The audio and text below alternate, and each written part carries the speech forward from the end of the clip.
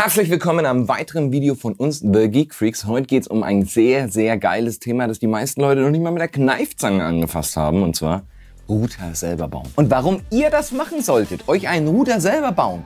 Und wie das geht, was man dafür braucht, wie viel es kostet, das erfahrt ihr alles im Video. Alles, was ich euch ab diesem Punkt erzähle, ist dem Telekom Support selber nicht bekannt. Sie geben keinen Support, sie geben gar nichts.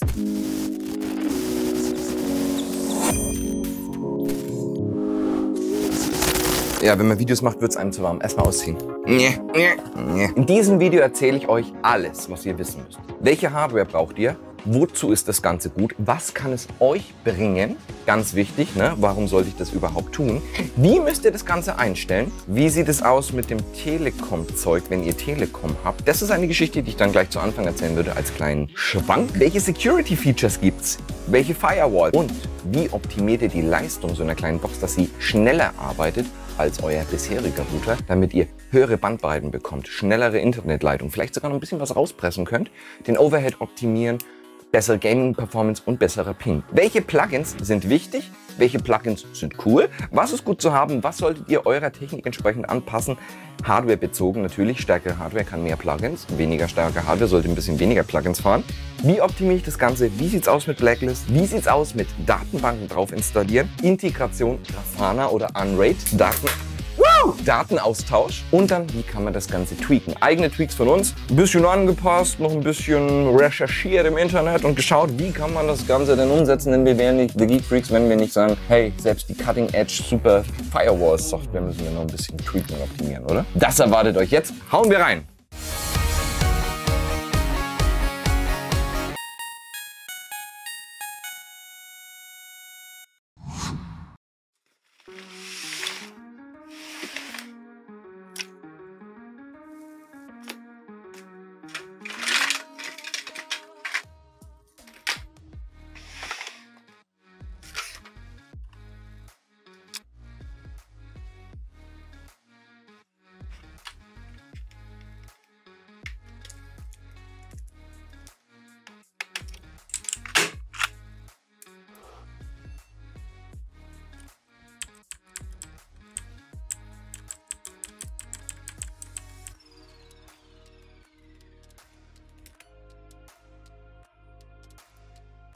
Schnallt euch an, setzt euch hin, holt euch einen Kaffee, das wird eine heiße Nummer.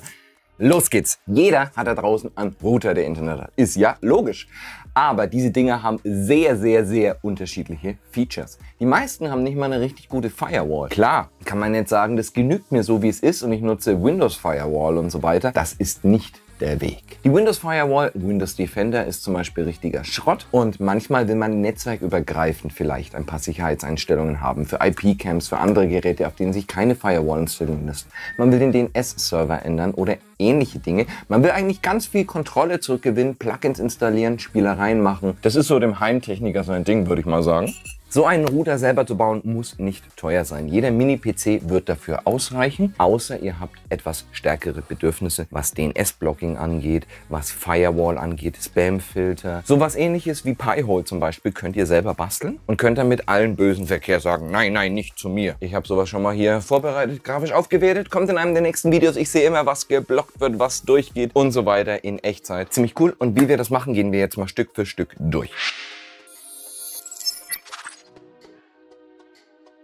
An dieser Stelle sei gesagt, ich möchte nicht noch schneller reden und alle Details kann ich natürlich nicht vermitteln in so einem kurzen Video. Zu lang darf das Video auch nicht werden, weil YouTube sonst sagt, bäh, bäh, bäh, bäh, pfui, pfui. Euch werde ich wieder runter. Alle Details werde ich nicht liefern können. Manche Sachen werde ich vielleicht sogar vergessen. Und ich hoffe, die User, die erfahrener sind, werden dann die Lücken füllen und in den Kommentaren und im Forum und in Discord kann euch dann weitergeholfen werden. Wenn ihr das selber machen wollt, das kann harter Tobak sein. Das hängt sehr stark davon ab, wie viel Skill ihr habt, wie viel Erfahrung ihr habt, wie gut ihr seid in Linux oder ob ihr komplette Noobs seid. Selbst für Noobs ist es gar nicht so schwer. Man muss aber ein bisschen lesen, alles in der Videobeschreibung, Stück für Stück. Man fühlt sich am Anfang manchmal etwas schnell überfordert, wenn man nicht so viel Erfahrung mit der Materie hat. Habe ich mich auch gefühlt. Ich musste aber alles halt selber zusammen googeln. Und wenn ihr Interesse daran habt, lohnt sich auf jeden Fall. Und am Ende wird es immer funktionieren. Man darf bloß nicht aufgeben. Nicht jeder hat die gleiche Erfahrung, nicht jeder hat das gleiche Wissen. Und ich kann nicht auf jeden eingehen, eingehen und auf jeden seinen eigenen Wissensstand. Deswegen versuche ich es so detailliert wie möglich zu machen, dass es aber nicht langsam ist für die Profis unter euch und trotzdem noch genug Info zu vermitteln. Es ist immer so ein Spagat, ne? Mache ich es jetzt für Anfänger oder Profis oder für beide und wie weit geht es mit dem Video? Und wenn mehr Interesse besteht daran, dann werde ich natürlich gerne ein Follow-up-Video machen. Also lasst es mich wissen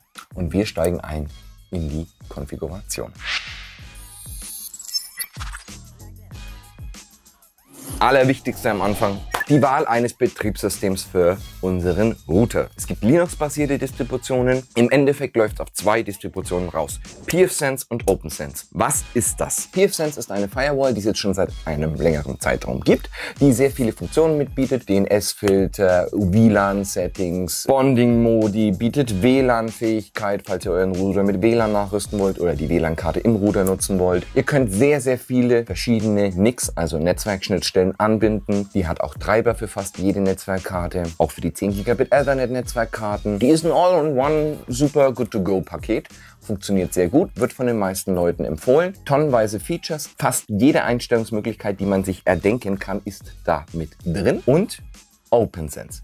Das gleiche Paket, nur neuer. Denn das ist Open Source, deswegen OpenSense. Und OpenSense wird von der Community entwickelt und ist damit Cutting Edge. Diese zwei, man hat die sichere, sichere, mehr oder weniger konservative Variante oder die hochmoderne, schnelle neue Variante. Ich natürlich hochmoderne, schnelle neue Variante. Welche Unterschiede PFSense und OpenSense habt, habt ihr hier unten in der Videobeschreibung, habe ich ganz viele Sachen verlinkt und gelistet. Ich habe mich selber für OpenSense entschieden, denn OpenSense ist Cutting Edge. PFSense hat einen Longtime Support Kernel. Der ist gut, aber der ist auch nicht der neueste Longtime Support Kernel. Ihr hört schon, Linux-Betriebssystem. Und das gleiche habt ihr halt auch bei den Plugins. Die Plugins sind okay, da gibt es einige zur Auswahl, die sind auch sehr cool, aber OpenSense bietet mehr. Und OpenSense bietet die Möglichkeit, Third-Party-Plugins zu installieren. Das heißt, auf GitHub ist ein cooler Entwickler, der haut da ein Plugin raus, zack, zack, zack, ihr könnt es installieren und könnt damit rumspielen. Das habe ich auch schon gemacht und das ist viel, viel, viel intuitiver. Und die Oberfläche ist nice und ihr könnt sie anpassen. Und das habe ich auch gemacht in unserem The Geek Freak Style, wie ihr im Video seht. Blende ich jetzt hier mal ein, da sieht das alles schon ein bisschen mehr so aus nach uns, weil ich versuche jede GUI erstmal so zu branden, dass es aussieht wie bei uns eben schön anthrazit-orange. Hm. Das ist halt auch eine Sache des Komforts, denn OpenSense ist um einiges leichter zu bedienen, denn das Menü ist übersichtlicher, Funktionen sind ein bisschen verständlicher strukturiert und es gibt so etwas wie einen Development Branch, auf den habe ich mich gleich mal reingelassen, denn der hat noch mehr Features, spart mir Strom, heißt meine kleine Box läuft mit weniger Strom, dafür schneller und hat mehr Headroom, denn der Governor funktioniert ein kleines bisschen smoother, wenn man ihn richtig einstellt, so dass ihr mehr Leistung aus der kleinen Kiste pressen könnt und vielleicht auch noch das letzte Quäntchen im Bit aus der Internetleitung.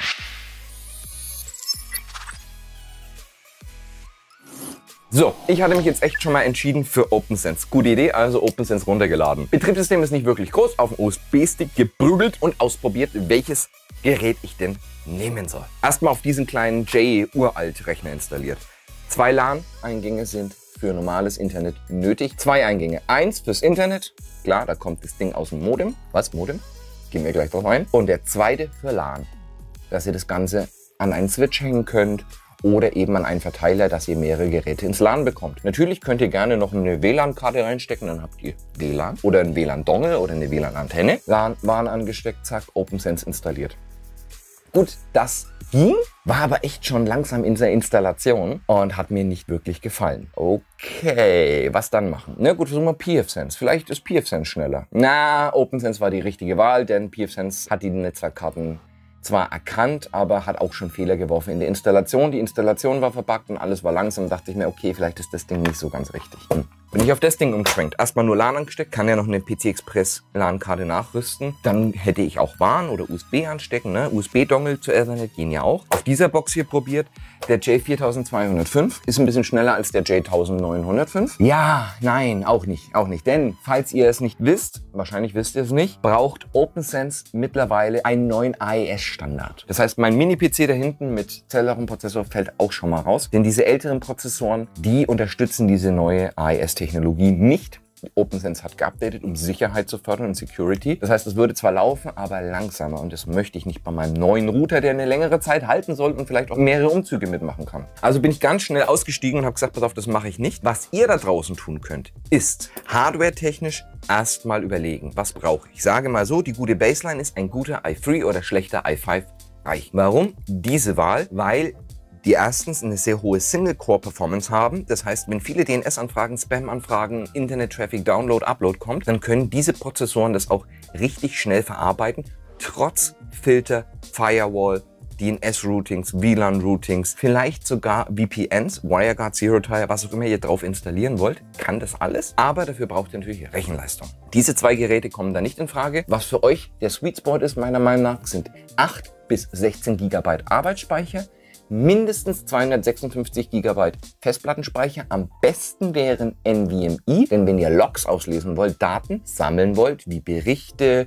über Zeit, sowas wie Grafana hier hinten, oder ihr wollt Auswertungen haben, dann sind es viele Read-Writes und damit ihr euer Betriebssystem nicht runterslowt, wäre eine NVMe gut. Und dann natürlich ein mindestens i3 oder i5 Prozessor. Die gibt es ja heutzutage schon super günstig in Notebooks. Man könnte auch einfach ein Notebook hernehmen. Ihr habt einen alten Laptop, LAN-Anschluss, USB zu LAN-Dongle, dann habt ihr zwei Ethernet, Ein- und Ausgänge, zack, schon habt ihr da aus eurem alten Laptop einen Router gemacht mit Display zur Überwachung. Absolut kein Problem. Aber jetzt geht's los. Ich habe mich entschieden für einen Mini-Forums-PC. Den kann ich euch zeigen und dann fällt mein Internet aus. Okay, was macht man nicht alles für ein Video? Ich habe das extra teuer und hardwaremäßig gemacht. Ich baue den jetzt ab. Ja gut, einfach rausreißen. Es tut mir so leid. Ich habe mich für dieses kleine Schnuckelchen entschieden. Oh, der ist so toll und der ist fast ein bisschen overpowered, was die Specs angeht. Ich weiß, das ist teuer. Das kostet Geld. Aber dieser Router soll lange halten. Der kostet ein bisschen mehr wie ein normaler Asus-Router, denn es ist ja ein normaler Rechner. Die Specs, wenn das Ding fokussieren würde, die Specs habt ihr hier. Miniforms PC ist sehr geil, hat einen 1500 G1 Prozessor, 16 GB RAM, halbes Terabyte NVMe, theoretisch overpowered. Wir haben DisplayPort, HDMI, haben vorne nochmal Thunderbolt, zweimal USB 3.0. SD-Kartenlaser, Audio out. Das ist ein bisschen viel und ein Mikrofon. Dafür nicht perfekt optimal geeignet, aber das perfekteste, was geht. Denn dieser i3 hat sehr viel Power unterm Arsch. Im normalen Idle-Betrieb und ich habe wahnsinnig viele Plugins installiert. Ich habe, glaube ich, 25 Plugins installiert, hat das Ding maximal 10 bis 25 Prozent Auslastung. Und selbst wenn meine Internetleitung ausmax bei 250 im Bit Download und 50 im Bit Upload gleichzeitig, habe ich getestet, gehen wir maximal bei 50 Prozent Leistung weg, trotz aller Firewall-Aktivität. Das ist überlegen. Er wird nicht heiß, er ist leise, bleibt bei 57 Grad im Schnitt und er ist klein, Full Aluminium Body, fast Apple-Style. Den kann man auch als normalen Mini-PC so nehmen, kostet aber um die 400 Euro. Das kommt dazu.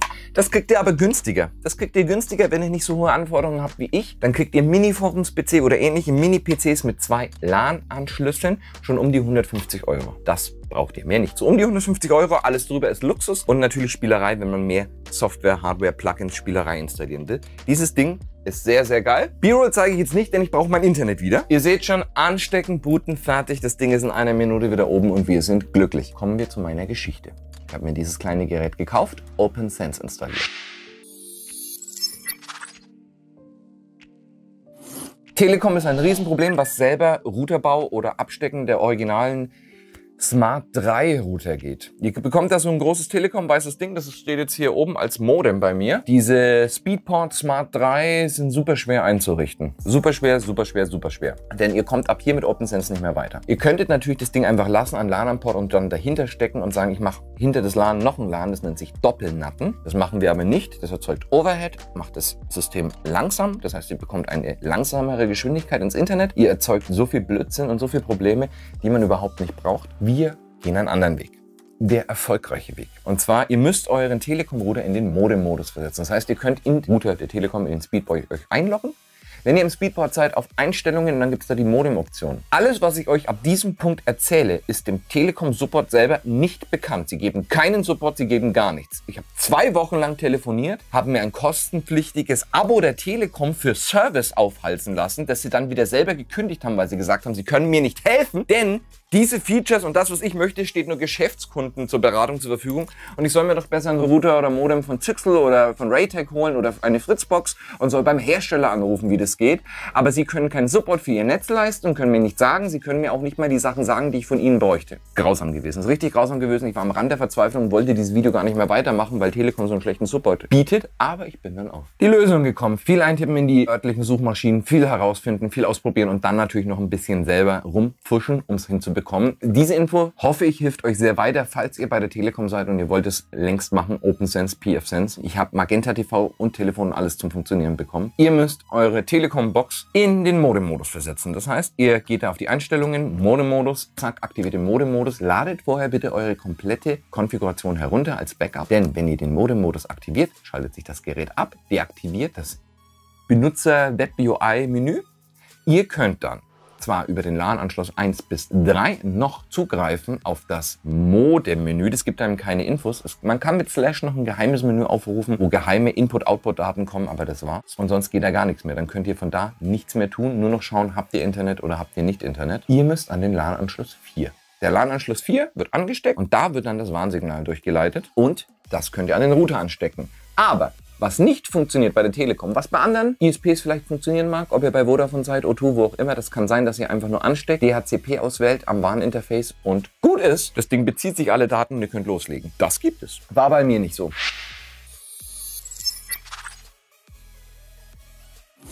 Als erstes installieren wir mal OpenSense auf der kleinen Box. Das heißt, USB-Stick angesteckt, check, dann ausgewählt, ich boote vom USB-Stick, Installation ausgewählt und in der Videobeschreibung habe ich verlinkt, bekommt ihr von mir die Installationsnutzer und Passwort. Die gebt ihr einmal in die Shell ein und zack, startet der Installationsprogress. Ihr könnt alles auswählen und landet dann am Ende in der Konfiguration. Da wählen wir aus Set Interface. Wir weisen die Interfaces zu, was ist LAN, was ist WAN. Könnt ihr euch frei raussuchen.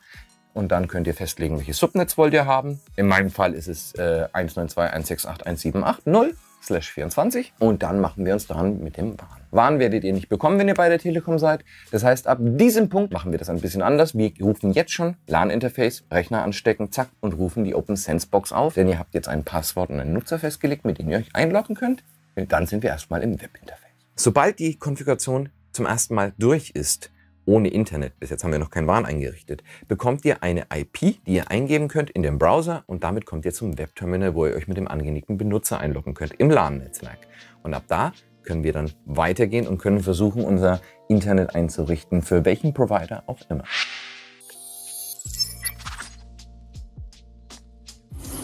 So, Telekom, einstellen.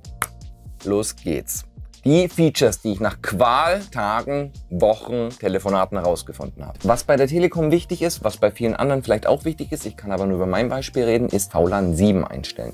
Was heißt, ihr müsst unter den Bridge Settings ein VLAN 7 anlegen, also WLAN, WLAN 7 anlegen und dann das WLAN 7 auf euer WAN-Interface legen. In meinem Fall RE1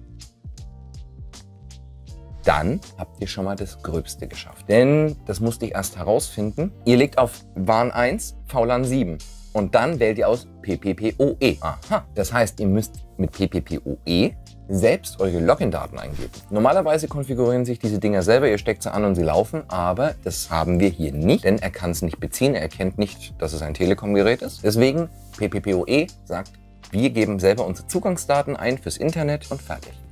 Aber so einfach ist es noch nicht. PPPoE müsst ihr auswählen. Das heißt, wir gehen jetzt hier drauf und sagen, pass auf, WLAN 7 bitte auf WAN-Interface, bei mir RE1, check. Dann haben wir das gebridged. Dann nehmt ihr das RE1-VLAN 7 und macht da drauf PPoE, nicht umgekehrt. Mit jedem Gerät, das ihr euch in ein Telekom-Netz verbindet, werdet ihr automatisch ins VLAN 7 geschmissen und von da an bekommt ihr erst Internet. Das macht die Telekom so und das machen auch viele andere ISPs so. Check und dann muss man eingeben. Dann gebt ihr eure Nutzungsdaten ein. Das in diesem Fall, verlinke ich in der Videobeschreibung, gibt es eine Anleitung der Telekom sogar. Wow, danke. Das heißt, ihr gebt Kundennummer ein, Anschlussnummer, dahinter 0001 t-online.de, dann unten drunter euer selbst festgelegtes oder zugewiesenes Passwort. Wenn ihr keins selbst festgelegt habt, könnt ihr das Passwort nehmen, das im Brief der Telekom dabei war. Wenn ihr das nicht at hand habt, könnt ihr einfach in das Telekom Service Center gehen mit dem Handy, weil ihr habt ja kein Internet in der Zeit. Geht ihr da rein in das Service Interface, mein Vertrag, zack, zack, zack und legt unten ein eigenes Passwort fest. Das reicht vollkommen aus. Das gebt ihr ein, fertig. IPv6. Ihr müsst IPv6 festlegen. Wie machen wir das mit IPv6? Wir schalten IPv6 auf DHCP. Das heißt, bitte bezieh eine IPv6-Adresse, löse aber nicht auf, wir sagen nur lease. Das heißt, bitte gib uns zwar die Adresse, aber wir wollen sie gar nicht nutzen. Unten klickt ihr an, IPv4 nutzen anstatt IPv6. Ihr setzt also die Präfix-Delegation auf 56, sagt, bitte nimm die IPv4-Adresse, bezieh nur IPv6 log dich ein. Und dann wird es funktionieren. Interessant daran ist, ihr müsst erst WLAN auf das Interface RE1 setzen und danach PPoE auf WLAN 7. Dann funktioniert's. In dieser Reihenfolge. Wer es andersrum macht, bekommt keine Verbindung und kann sich wie ich wochenlang tot suchen an dieser Problematik. Gut, dann habt ihr schon mal Internet. Jetzt wird's spannend.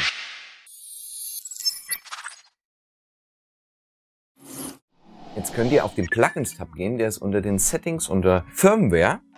Plugins und da könnt ihr ganz viel installieren. Da ist alles Mögliche da. Wenn ihr Third-Party Repositories installiert, könnt ihr sogar VMware VirtualBox laden und so weiter und so fort. Aber das ist ja nicht unser Ziel. Unser Ziel ist erstmal Firewall einzustellen, denn Firewalls sind wichtig. Ob DNS-Attacken, ob DDoS-Attacken, ob ähnliches. Man will natürlich sein Heimnetz sicher machen und sogar einen Ad-Filter einrichten. Das wäre auch nicht schlecht fürs eigene Home, dass man jetzt nicht so wirklich viel Werbung kassiert oder dass man böse Anfragen von außen blocken kann oder eben seine eigenen Regeln freigeben. Denn wer einen Android-Server hat, der will bestimmt mal ein paar Ports nach außen freigeben oder per WireGuard oder ähnlichem von außen zugreifen, aber sicher. Und wir wollen das natürlich alles sicher machen. Grundlegend von Haus auf ist die OpenSense auf HTTP, nicht auf HTTPS eingestellt. Das können wir sehr sehr schnell ändern, indem wir in den Settings HTTPS anmachen und das Zertifikat nutzen, das mitgeliefert ist, dann gehen wir über den Secure Server. Aber Vorsicht, im Browser wird euch dann angezeigt, dieses Zertifikat ist untrusted. Ihr müsst es einfach selber trusten, denn ihr habt es ja auch selber installiert. Und dann könnt ihr mit HTTPS zugreifen. Jetzt wird spannend. Um von außen zuzugreifen, kann man natürlich ein Plugin installieren wie DuckDNS. Ich habe DuckDNS installiert und habe mir dann quasi einen Remote-Zugriff gemacht, dass der Lukas mal schnell was basteln kann. So ist das Ganze ziemlich cool. Natürlich sind wir passwortgeschützt und über HTTPS. Das Ganze geht natürlich noch sicherer man kann Let's Encrypt draufprügeln und dann kriegt man ein richtiges Zertifikat und kann das Ganze hundertprozentig sicher mit DuckDNS zum Beispiel machen und von außen zugreifen. Aber das kann vielen immer noch nicht genug sein. Da wir OpenSense haben, haben wir die Möglichkeit, Sensei zu installieren. Und Sensei ist grandios. Sensei ist eigentlich so eine Pay-to-Win-Lösung für Firewalls. Man kann monatlich zahlen 9 Euro fürs Home-Tier oder man nimmt das Gratis-Tier. Ich fahre mit dem Gratis-Tier. Dann gibt's nicht ganz so viele Optionen, aber die können wir ja wieder über Anbauen wegmachen. Das ist ein anderes Plugin, das dann über DNS blockt. Und Sensei ist grandios. Ob man jetzt alles grafisch aufbereitet haben will, was das Ding wegblockt, ob man sehen will, welche Zugriffe laufen. Sensei ist sehr, sehr, sehr cool, sehr modern, ist von Sunny Valley und im Gratis-Tier reicht's mir vollkommen aus. Wer mehr Features haben will, mehr Geräte im Home-Netz, der kann zu Pro upgraden. Und ich brauche Sensei aus einem Grund für mein Grafana Dashboard auch noch. Denn es kann ganz schön die Sachen, wenn man es richtig konfiguriert, mit Geo-IP darstellen, woher kommen die Zugriffe und was wird weggeblockt. Das ist schon mal toll. Unbound DNS ist das nächste Plugin, was ich empfehle zum Installieren. Denn mit Unbound DNS kann man auch nochmal Blocklisten installieren und kann DNS-Abfragen, die schädlich sind, unbekannt oder die wir nicht wollen, auch noch wegblocken. Muss man auch konfigurieren konfigurieren und einstellen. Bei Interesse kann ich es euch natürlich ein bisschen ausführlicher erklären. Aber das sind so die Plugins, die auf jeden Fall auf den Router-PC sollten. Was noch cool ist, ist Clam. Clam, C-L-A-M, ist ein Antivirenprogramm. Das kann gleich mit noch ein paar Zusatzplugins, Airspam und so weiter, kannst die Mails, die man bekommt, gleich filtern nach schädlichen Inhalten, die Mails öffnen, die E-Mails und so weiter und durchgucken. Und das ist auch sehr stark. Und natürlich gibt es Hardware-Monitoring-Plugins, es gibt Collect-D, es gibt NetFlow-Plugins, um den Flow im, im, Griff zu behalten zwischen allen Interfaces, Bridges und so weiter. Virtuelle IPs, also es ist endlos. Die Liste der Einstellungen, ich bin selber noch nicht halbwegs durch, was ich alles tun möchte. Natürlich kann man auch WLANs konfigurieren, das äh, erzeugt aber ziemlich viel Overhead auf der Kiste hier. Deswegen, das sollte man vielleicht in einem Switch Layer 3 dahinter machen, wie ich es machen könnte mit dem Gerät, oder ich werde noch ein bisschen optimieren an dieser Box. Kommt auf die Leistung drauf an.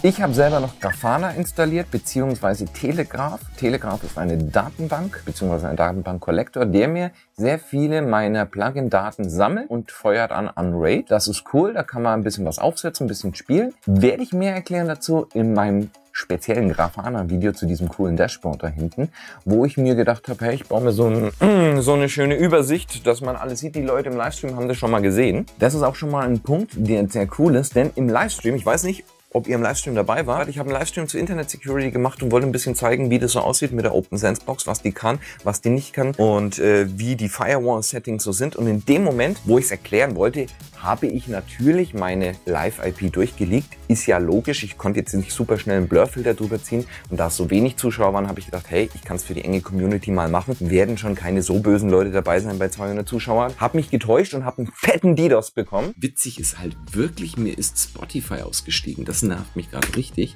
Da kann ich jetzt wahrscheinlich reloaden, wie ich will. Ich alte Schnitzel. Oh, Internet ist auch ausgestiegen. Oh, schaut mal, wir haben Download-Spikes auf einmal von 202. Also der Download ist jetzt hoch und der Upload ist weggerauscht. Die CPU der OpenSense Box rauscht hoch. Der YouTube-Stream ist auch abgestürzt, weil ich jetzt kein Backend habe. Ja, ja, der müsste ja. aber gleich wieder reinkommen, hoffe ich. Natürlich versucht uns gerade jemand zu DDoSen. Aber lustigerweise. Lustigerweise, sehr interessant. Haben wir dich die ganze Zeit gehört und dein Bild kam auch die ganze Zeit über Skype hier Das rüber. freut also, mich sehr, sehr, sehr, sehr. Aber ihr seht direkt hier, wo die Eskalation stattfindet, auf Net Interface. Hier findet sie statt, hier findet sie statt. Oh, oh, oh, oh, oh, oh. Da ging es jetzt ab. Da ging es jetzt ab, die Verbindungsquellen. Hast du gleich was zum Zeigen, wie gut dein System funktioniert? Ist doch auch schön. Ja, funktioniert gut. Also ich schaue das an. Wir haben hier ganz viele schöne Ping-IPs und wir haben hier ganz viele schöne Treffer. Und ich habe natürlich ganz viel schönes Zeug dazu. Wo jetzt? Siehst, seht ihr mal, wie viel geblockt wurden. Schaut mal hin.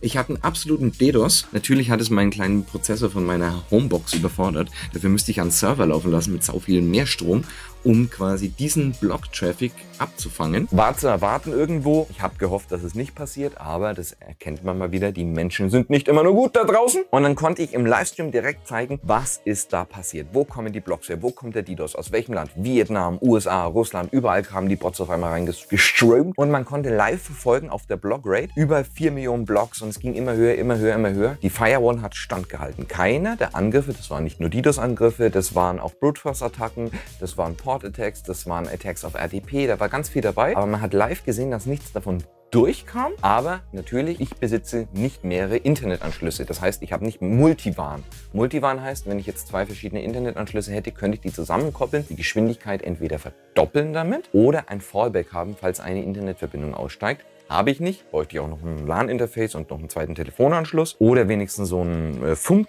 äh, hier äh, LTE-Gerät. Habe ich nicht und mein Anschluss war völlig überfordert. Die Routerauslastung ging irgendwann auf 100%. Zu viele Pings, zu viele IP-Resolves und irgendwann ist dann die Verbindung im Stream abgebrochen. Ich habe natürlich dann resettet mit dem Lukas und wir konnten den Stream später halbwegs vernünftig weiterfahren. Aber da hat man gesehen, die Firewall ist stark und die Firewall hält, was sie verspricht. Sie blockt die Leute weg. Klar, das Internet geht dann trotzdem in die Brüche, wenn starke Attacken gefahren werden. Aber dafür ist das ja nicht gedacht. Es ist ja dafür da, um euer Home zu schützen in so einem kleinen Setup. In einem größeren Setup mit Multivan und so weiter, da nimmt man auch stärkere Hardware. Da kann man mit einer größeren Leitung natürlich auch sicher gehen, dass die Internetverbindung nicht abreißen wird.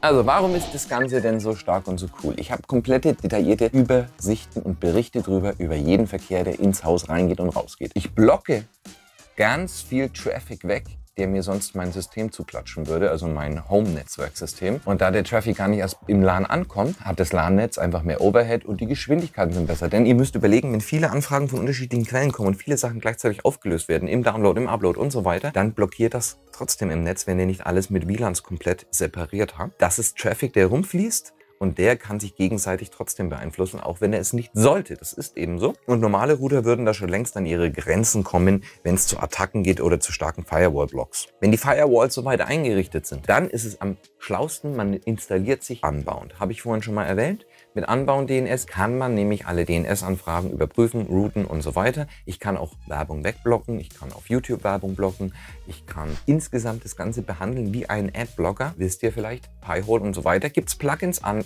Unbound BL zum Beispiel oder Unbound AB, Adblock, die kann man nachinstallieren muss man vielleicht ein bisschen tricksen, zum Beispiel indem man das per Hand hinzufügt als Include Sideload. Und dann kann man ganz viele Blocklisten von Pi-hole direkt laden und zack ist man auf der sicheren Seite. Du hast die Firewall, du hast die, Black, äh, du hast die Blocklisten und dann kann man spielen und rumprobieren. Mein momentaner Stand ist, ich habe WireGuard am Laufen, um mit dem Lukas eine Direktverbindung aufzubauen, damit wir die Livestreams optimieren können und Traffic hin und her schaufeln in unserem eigenen quasi privaten nett. Das werden wir noch ein bisschen ausbauen und konfigurieren, dass wir ganz schnell über SMB Sachen scheren können, ohne dass jemand von außen zugreifen kann. Wenn jemand keine hundertprozentig geringe Latenz braucht, empfehle ich Zero Tier. Kann man installieren unter den VPN-Plugins. Zero Tier ist super schnell aufgesetzt, super einfach aufgesetzt. Jeder trägt sich einfach ein, fertig. Es wird zwar über die USA geroutet, weil da die Server stehen, aber wenn jemand nicht die geringste Latenz braucht, im Gratis-Tier super. Man kann natürlich ein bisschen was zahlen und dann ist das Ganze performant und geht über andere Server, aber das ist auch schon wieder ein bisschen too much.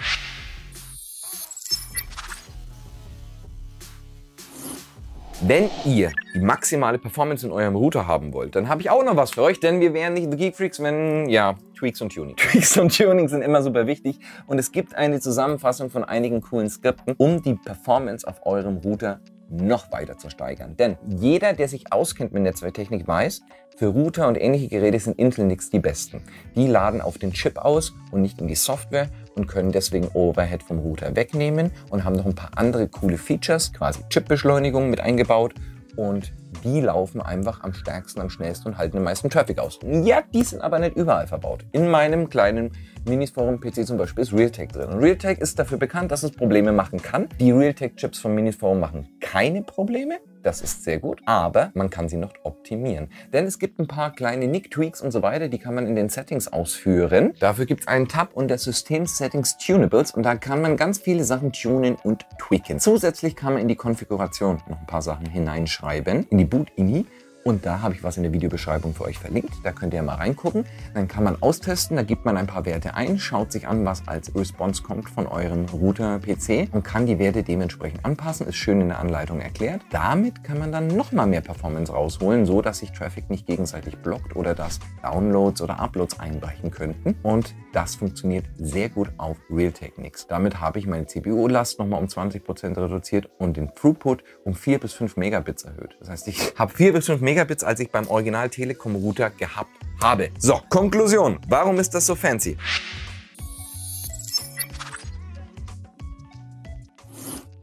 Ihr könnt damit quasi die Geschwindigkeit, die ihr normalerweise im Internet habt, eure normale Browse-Geschwindigkeit, Browsing Speed, erhöhen Traffic blocken, euch absichern gegen Angriffe von außen, sogar die Mails und andere Sachen, filtern und securen. Ihr könnt diese Daten exportieren, euch direkt anschauen. Ihr könnt überwachen, ihr könnt den Stromverlauf überwachen und das Ding braucht echt wenig Strom, braucht weniger als der Telekom-Router, auch wenn ich den im Modem-Modus natürlich leider weiter haben muss. Ihr könnt eure eigenen Wi-Fis aufsetzen, ihr könnt alles, was bei normalen ISPs was kostet oder gar nicht erst vorhanden ist, und noch vieles mehr. Das ist ein Feld, das sich auftut mit so vielen Möglichkeiten, mit so vielen Konfigurationsmöglichkeiten. Wow! Das mag die meisten Leute vielleicht erstmal overwhelmen, denken sich, wozu brauche ich das? Installiere ich mir einfach nur ein Pi-Hole und gut ist. Ja und nein. Ein Pi-Hole kann zwar auch ziemlich viel wegblocken, aber dieses Gerät kann viel mehr. Ihr habt die komplett volle Kontrolle und integrierte VPNs und so weiter fürs gesamte Netzwerk oder WLANs. Das heißt, alles, was ihr im Nachgang mit Servern regeln müsstet, könntet ihr direkt am Router regeln und das auch noch schneller. Es spart Traffic ein und beschleunigt euer Heimnetz enorm. Ich selber habe damit jetzt sehr, sehr viel herumgespielt.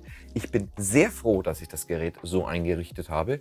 Erstens für den erhöhten Geschwindigkeitsvorteil, den ich habe. Zweitens für die Kontrolle, die ich habe. Drittens kann ich mir alle Daten ausgeben lassen, was sehr, sehr cool ist, weil ich so zum Beispiel weiß, welche IP verbraucht wie viel Traffic, welche Ports werden bevorzugt benutzt, welche Ports kann ich öffnen und schließen in dieser Hinsicht. Im Telekom Router war ich da sehr limitiert, was Port öffnen, schließen und so weiter betroffen hat, auch was Forwarden, virtuelle IPs, da konnte ich eigentlich nichts einstellen. Hier kann ich jetzt ganz viel herumspielen und nicht nur über TCP, UDP und so weiter arbeiten. Ich kann alle Protokolle mir angucken und kann tweaken und kann zum Beispiel sagen, die China-Geräte, die ich habe und teste, bitte nicht nach China telefonieren.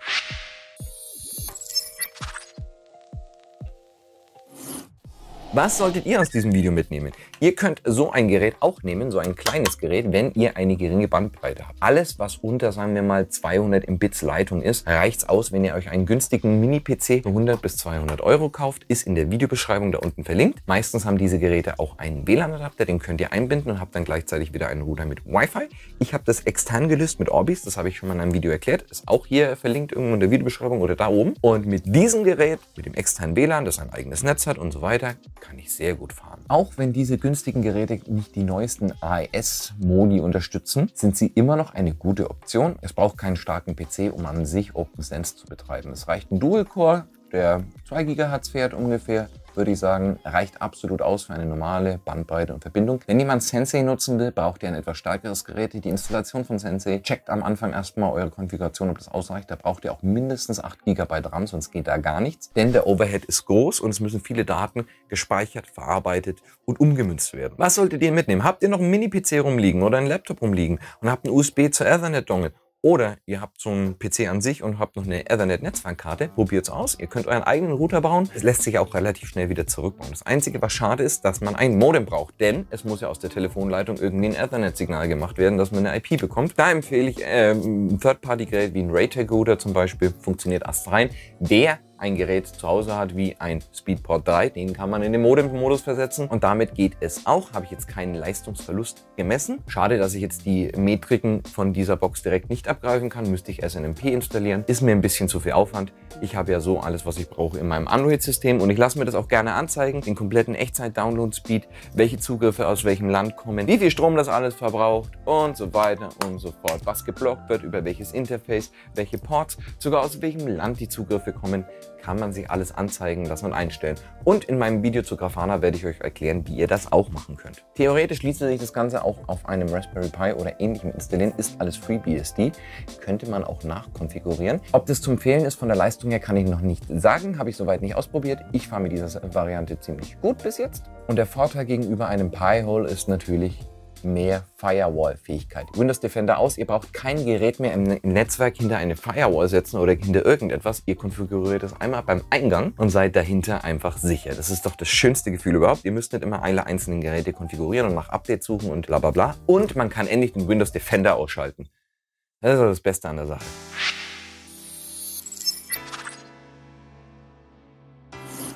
Erstmal haben wir jetzt einen eigenen Router gebaut. Und wer kann schon sagen von sich, er hat zu Hause seinen eigenen Router gebaut? Wie ich das Ganze so hübsch bekommen habe mit meinem System, dass das so nach TGF aussieht, das sind einfach nur Plugins. Unter anderem Themes, die könnt ihr runterladen und einen Plugins-Tab.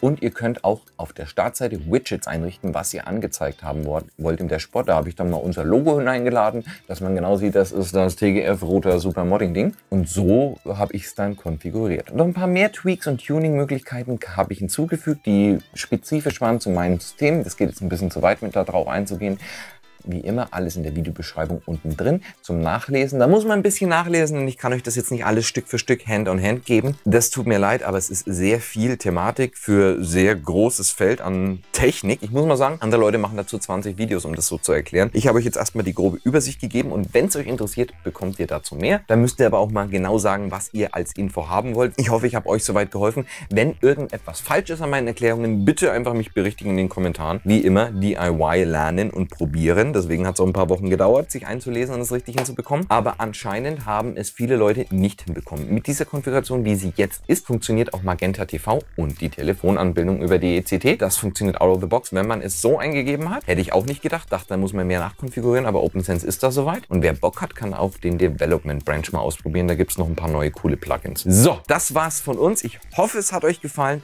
Ich hoffe, es war interessant genug. Das war jetzt mehr trocken, trocken, trocken, trocken als äh, was anderes. Geht aber nicht anders anders, weil dieses Thema wusste nicht, wie ich lustig verklausulieren soll.